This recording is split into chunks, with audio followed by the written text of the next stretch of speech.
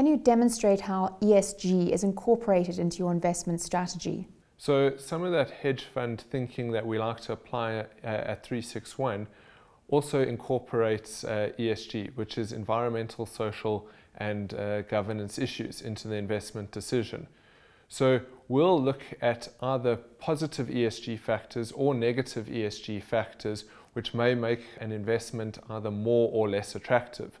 So for example, in the case of Sea Harvest, uh, we think it's a great investment opportunity because their uh, fishery is MSC certified, which means that it's sustainable and it's not overfished, uh, which tells you that there's going to be a long lifespan to this resource. On the other hand, we might be concerned about investing in companies where they have very high carbon emissions because in South Africa there's a carbon tax that's been implemented and it's going to step up over time in terms of the amount payable and this could change the economics of that business or at least the investment returns that shareholders will get.